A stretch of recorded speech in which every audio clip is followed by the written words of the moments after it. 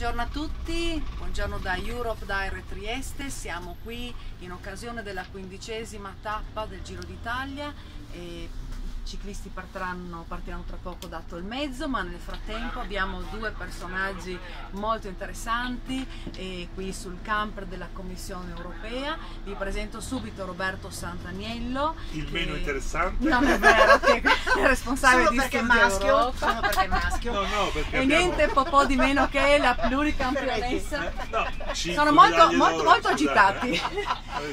Pluricampionessa Manuela Di Cento che ho grande piacere di conoscere perché confesso sono una fondista! C'è due parole su eh, quello che significa il contributo della Commissione europea per questo Giro d'Italia. Beh, la risposta è quello che vedete adesso. Nel senso, siamo in quel bel- questo bel camper che ci guida Alessandro con Ilenia che da qualche parte ci, ci ascolta anche ed è quello di riuscire a far capire alla gente, alla gente con la doppia G, che eh, l'Europa non è eh, in Europa ma è anche in Italia e soprattutto sulle strade meravigliose rosa che è questo giro che si snoda in questo meraviglioso giro d'Italia. Basta, poi il- la parola è tutta per Emanuela. Io mm, mi sento immersa in quello che è questo mm, grande tappare, no? tappa per tappa, ehm, eh, regione dopo regione e questa volta alla grande anche nazione dopo nazione come Giro d'Italia. Esatto. Un eh, messaggio grandioso, mi permetto di dire, che lo sport sempre di più, anche in chiave europea, però lo sport ha una chiave universale. Io come membro del. Comitato Olimpico Internazionale questo ci tengo a sottolineare in modo eh, forte, lo sport è una forza, eh, ha una capacità universale di parlare proprio con una lingua universale. Io Va dico abbatte là- confini fisici e Sì, mentali. Va al di là di quello che sono le frontiere, di quelle che sono le difficoltà, di quelle che sono le politiche. Eh, facciamo un esempio per andare sul concreto, guardiamo cosa ha fatto l'Olimpiade di Pyeongchang attraverso il dialogo con la Corea. Questo è uno degli esempi più belli, più forti, più concreti anche di ciò che vuol dire dialogo, che è uno dei grandi temi dell'Europa. Sì. Dialogo, integrazione, apertura, condivisione, no? attraverso i vari progetti, ma alla fine che cosa si vuole fare? Quello che spesso lo sport più di altri riesce a fare, cioè mettere insieme e far parlare in pace. Ecco, questo, eh, tornando poi al giro, è, il giro rappresenta una grande universalità anche questo, che dà la possibilità a tutti noi di spread out the message, cioè di mandare in giro questo messaggio che lasciatemelo dire, basta, no, solo con carte e, e risoluzioni e leggi, no? E la gente che la, fa e la l'Europa. gente che fa, ecco, è la gente che Beh, fa di leggi l'Europa ne e facciamo sono sempre di meno, siamo molto Sì. più selettivi. e eh, messaggi però, eh. invece che vengono anche dalla concretezza del- dell'essere qui oggi, del parlare con la gente, di dire che anche lo sport ha grande progettualità e grande appartenenza all'Europa, perché l'Europa nell'ambito sportivo ci ha aperto grandemente le porte alla cultura sentire. dello sport. Sì. Allora, io ho delle cose meravigliose che vorrei dire.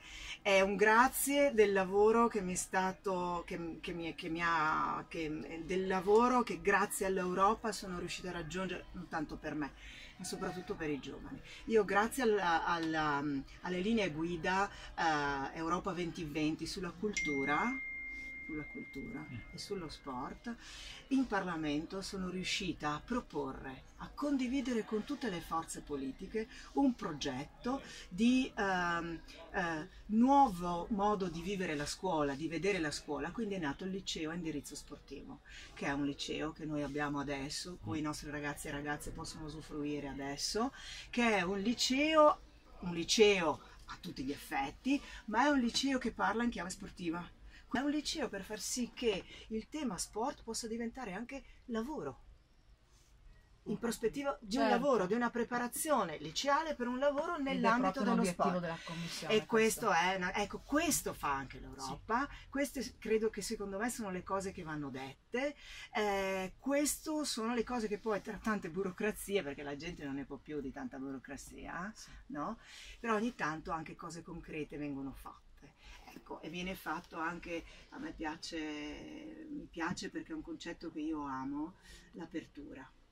L'apertura e la condivisione tra tutte le nazioni, il più possibile tra tutte le nazioni. Poi ognuno deve mantenere la sua radice e il suo cuore, però l'apertura. Io ho vissuto tante chiusure nel mio mondo dello sport. Volevo chiederti infatti Mm. come donna, per esempio, se hai avuto qualche difficoltà, magari da bambina, visto che mi sono informata a 9 No, anni. anche da fatto la prima adulta. ga- Anche da adulta. Eh. Io non immaginavo tanto. No, no, no, da bambina Cioè- ma anche da adulta Ah. perché comunque ci sono eh, mh, incredibilmente delle eh, diseguaglianze di genere, ormai non tanto per quanto riguarda la legge, chiaramente che abbiamo risolto quasi tutto, insomma abbiamo parità eh, sulla carta dappertutto, ma abbiamo delle diseguaglianze che addirittura non ci accorgiamo di avere perché sono talmente parte del nostro quotidiano, Cultura, della sì, cultura. eh, Cioè, cosa radicata. Sì, la donna o la bambina, quando è bambina, è chiaro che prende la bambola. E io allora, io la bambola non la volevo, mi sentivo una diversa. Eh, che caspita, no? Poi, per fortuna che ho avuto mio padre che mi ha detto, tu devi fare quello che ti piace, se non ti piacciono le bambole, ti piacerà qualcosa. E ha avviato allo sci, ma non solo, a tante alla pratica sportiva di tanti sport, migliaia e migliaia di ragazzi e ragazze, con l'obiettivo non di farli diventare campioni olimpici, ma di aprire il cuore e la mente a questi ragazzi e a queste ragazze per esprimere semplicemente loro stessi. Questo è il messaggio dello sport. Posso dire anche Eh. per portare la terra, questa terra fuori dai confini. Per portare la terra fuori dai confini e noi, in modo specifico, soprattutto al nord del Friuli Venezia Giulia Esatto. Carnia, dove noi viviamo, a Paluzza, è un confine perché per tanti anni è stato chiuso, ma chiuso non solo fisicamente, chiuso anche culturalmente. Certo. Avevamo paura di quelli che stavano di là. Certo. Perché le nostre nonne, mia nonna Irma, portatrice carnica, è stata una di quelle donne che durante la prima guerra mondiale portava le munizioni al fronte per tenere quel fronte e per non essere invasi dagli austriaci. Non c'erano più né muli né tantomeno uomini e le donne si offrirono liberamente di portare le munizioni. Noi siamo ancora quelle generazioni che ci Esatto. ricordiamo fisicamente di questo. E quando io mi allenavo, ma anche adesso passeggiando sui sentieri che eh, stanno a cavallo Austria e, eh, e la nostra, e la nostra Italia, le nostre Alpi Carniche, il Freihof, il Pizzotimao, e Palpiccolo, Palgrande, tutte queste zone dove eh, lo chiamiamo museo adesso, a cielo aperto, no? però lì sono morte tante persone, lì veramente c'è eh, quel dolore che deve diventare consapevolezza di ciò che dobbiamo essere noi oggi.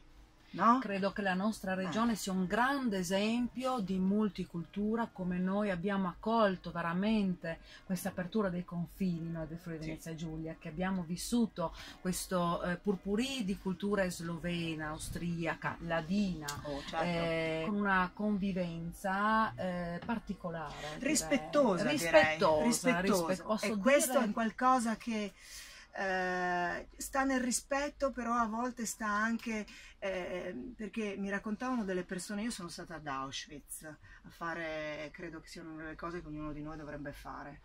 Mm.